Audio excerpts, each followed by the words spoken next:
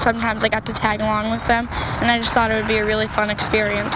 11 year old Michaela Whitkin says she's a fan of all things scouting. So when she was old enough, she became a Girl Scout.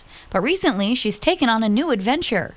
I had grown up seeing my brothers in scouts because they're a lot older than me, and so I got to see like how much fun they had. Michaela says she wanted to do what the boys were doing, and now she and other girls are able to as the scouting world has transitioned from Boy Scouts to Scouts BSA, available to both girls and boys in February, uh, girls were allowed to join Scouts BSA uh, in their own troops. So girls have female troops, and then there are male troops, and we have linked troops. Sarah Whitkin is the Scoutmaster of Troop 366, the newly relaunched Scouts BSA troop.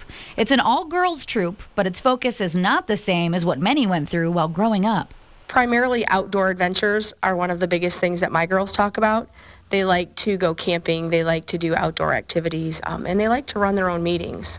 Sarah explains there is a bigger emphasis on the individual scout to complete their challenges. I think girls have seen their brothers do scouting for a long time, and they've watched the things that they're able to do, and they just want a chance to do those same things. Michaela says she's already busy working on two merit badges, one for theater and one for environmental science. I have to um, like learn more about the outdoors and how things work outside and like what like organisms and how they work together. Sarah adds this has been a positive boost for scout enrollment and for families to even scout together.